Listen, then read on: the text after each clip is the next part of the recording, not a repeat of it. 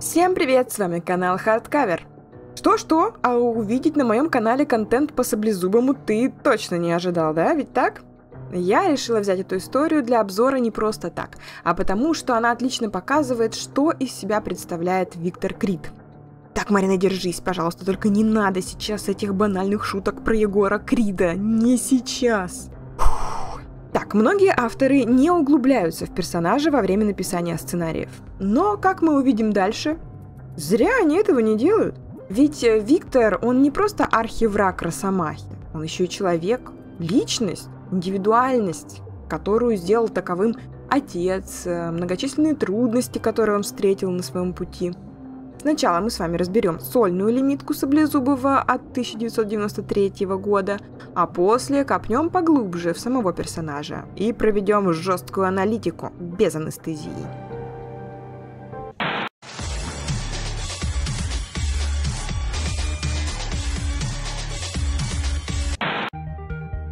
События берут начало много лет назад.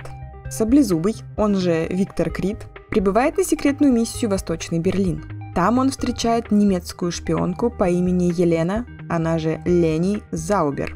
Преследуя общие цели, агенты быстро находят общий язык и вместе успешно завершают задание.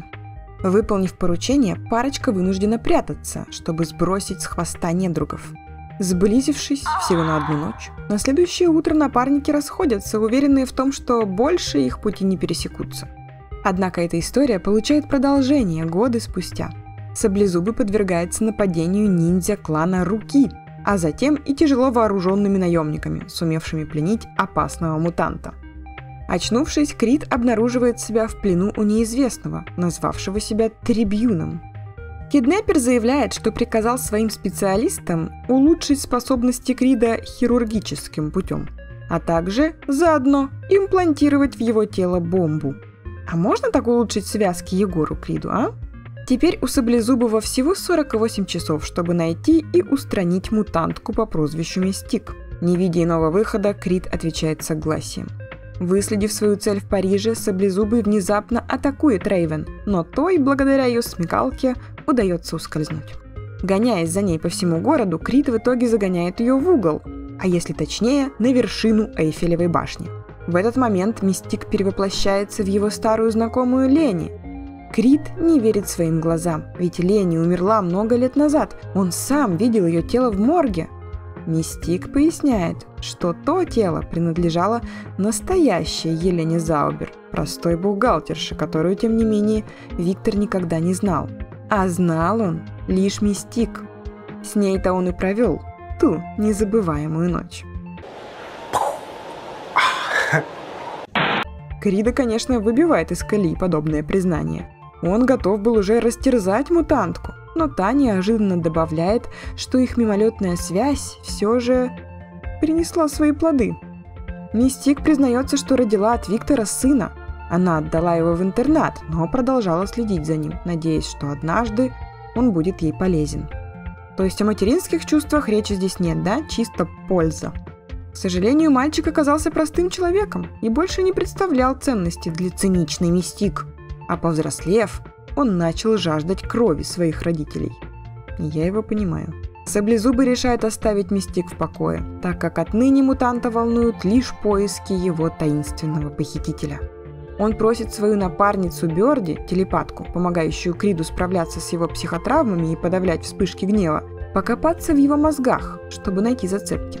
Выяснив, что Трибьюн находится в Нью-Йорке, парочка приступает к штурму его штаб-квартиры – Обезвредив неприятеля, Крит вынуждает его хирурга удалить из своего тела бомбу.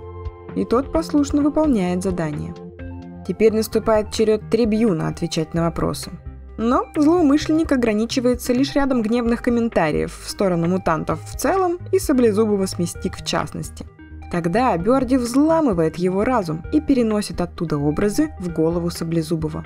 Виктор видит множество дверей и мальчиков, пытающихся заглянуть по ту сторону через замочные скважины. Выбив одну из дверей, Саблезубый обнаруживает за ней мистик. Крит становится свидетелем сцены из прошлого мальчика, когда тот узнал, что Саблезубый и Мистик – это его родители. Саблезубый осознает, что все это время имел дело с Грейден Кридом, политиком и ярым ненавистником мутантов. По иронии судьбы, оказавшимся связанным кровными узами с теми, кого он так презирал.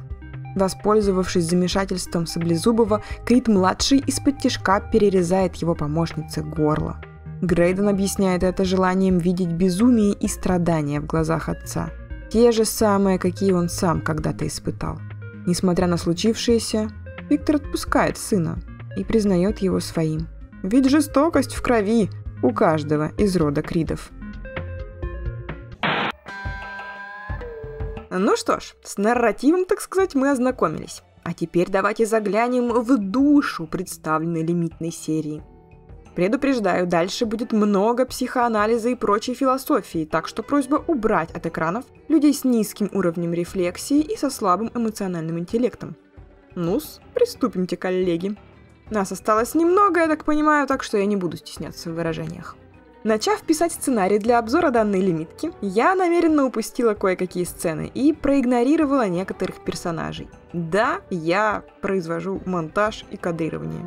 Изначально потому, что мне некоторые персонажи показались просто лишними и никак не влияющими на подачу сюжета, однако позже я осознала свою ошибку. Оказалось, что как раз они-то и помогали раскрыть суть клыкастого антагониста.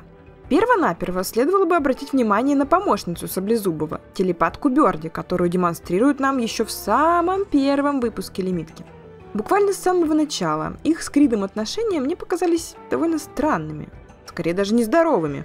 Ну вот посмотрите сами. Несмотря на то, что она всячески проявляет заботу о Викторе и помогает тому лечить его больную голову своей телепатией, а он относится к ней крайне скверно, издевается над ней, угрожает, и даже не стесняется наносить ей физические побои.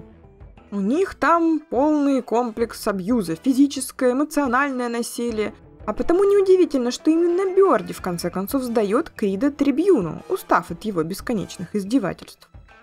Позже, по ходу дела, она и вовсе чуть не гибнет, спасаясь от праведного гнева Саблезубова. И тем не менее, она всякий раз прощает Виктора и продолжает с ним сотрудничать. Стокгольмский синдром, скажете вы? Возможно, но мне кажется, тут все гораздо интереснее, и дело совсем в другом. Будучи телепаткой, она точно знала, что творится в душе у Крида. А там что? А там она видит запуганного маленького мальчика, закованного в кандалы и с надетым на лицо намордником. При исполнившись агрессии, мальчик этот нападает на Берди, но та, вместо ответной агрессии, просто обнимает его. И чувствуя, что здесь, наконец, в этих отношениях ему ничто не угрожает, этот мальчик быстро становится покладистым и даже ласковым. Таков Крит внутри, таков истинный Крит, испуганный мальчик, ищущий защиты. Когда в стрессе мы впадаем в детское состояние и реагируем так, как мы реагировали на угрозы и стресс в детстве, это называется в психологии термином регрессия – но в данном случае регрессия такова, что она представляет собой не возвращение к индивидуально более ранним реакциям, то есть детским реакциям, но спускание вниз по ступенькам онтогенеза, то есть спускание вниз по ступенькам эволюции к реакциям более низких типов живых существ к инстинктам, проще говоря. Зачастую поступки Крида диктуются инстинктами, а не логикой. Отмечу, что у обычных людей никаких первозданных инстинктов уже нет. Учеными доказано, что а, инстинктивное поведение – это закрепленная форма поведения, работающая сама по себе, независимо от воли живого существа. Например, никто не учит птиц вить гнезда или пчел строить ульи. Эти умения заложены в них генетически. Их нельзя заставить добровольно от этого отказаться или как-то там усовершенствовать форму сот, я не знаю. А вот людей вразумить можно, если, конечно, у них нет каких-то органических патологий. Вот, так что никаких инстинктов у нас нет, у нас есть потребности, которые мы сами выбираем, как удовлетворять.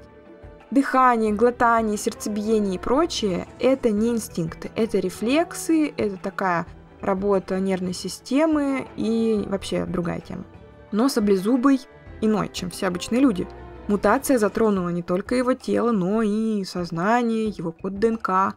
Взаимодействие с Виктором для Берди и других эквивалентно взаимодействию с тигром или львом. Все хорошо, пока он чувствует себя в безопасности и не голоден. Но ежесекундно в душе Крида идет непрерывная борьба между зверем и человеком, между инстинктом и сознанием. И, к сожалению, зверь куда чаще одерживает верх, превращая Виктора в чудовищного монстра. Возвращение к инстинктам есть неотъемлемая часть его мутации, которую он, увы, не выбирал.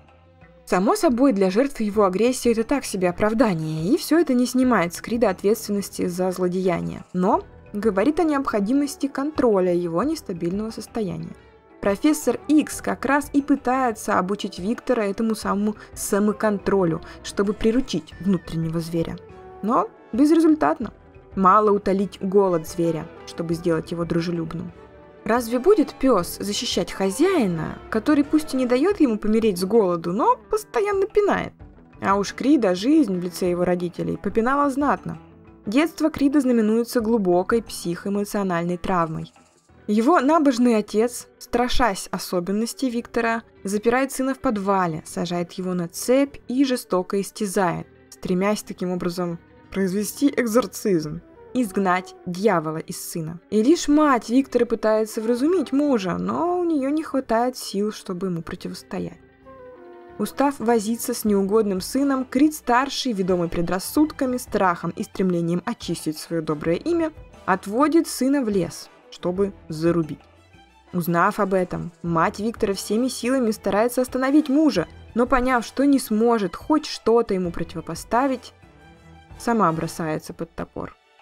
Сделав это, она целиком и полностью завоевывает доверие как сына, так и зверя внутри него. Прозвучит жестко, но разве готовность пожертвовать своей жизнью ради кого-то не есть высшая степень любви к этому кому-то? Мать, однако, остается жива, но ее поступок учит Виктора бороться за жизнь и за то, что дорого. Ходят россказни о том, что Крит по итогу все равно расправляется с ней, как и с отцом, когда вырывается на волю. Однако это не так. Виктор прячет свою мать, намеренно распространяя слухи о своей безжалостности. И все это для того, чтобы уберечь свою маму от суровой реальности. Долгие годы он обеспечивает матери безбедную жизнь. Несмотря на страх, который порой вызывают в ней повадки Виктора, она продолжает верить в человечность своего сына. И вера ее оправдывается.